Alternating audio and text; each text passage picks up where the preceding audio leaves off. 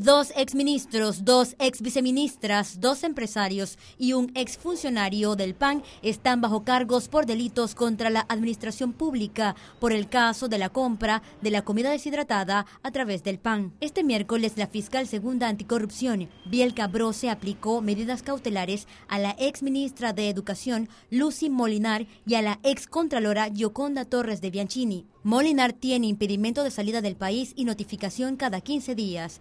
Bianchini tiene país por cárcel. Fue a raíz del informe de auditoría de la Contraloría que la fiscal formuló cargos a los ex altos funcionarios y le aplicó las medidas cautelares.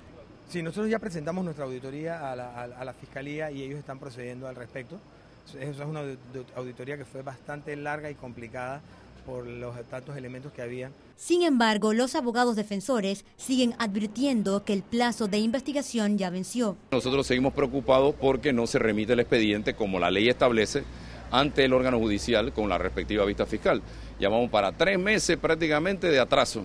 Federico José Suárez, exministro del MOB, y María Fábrega, ex viceministra de la Presidencia, tienen impedimento de salida del país y notificación periódica mientras que la ex viceministra de Desarrollo Social, Marta Susana de Varela, tiene impedimento de salida del país.